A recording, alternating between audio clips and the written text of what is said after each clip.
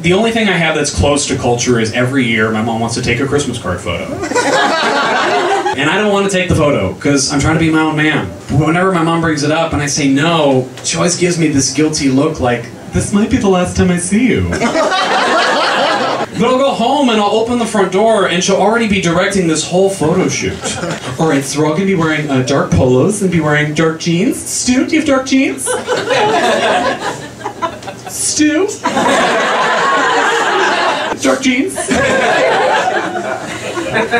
Me, she have dark jeans, and uh, we're all gonna be barefoot, and we're all gonna be sitting outside on the back patio, you know, on the terrace, and then our bodies will be facing downstairs, but our faces will be looking up.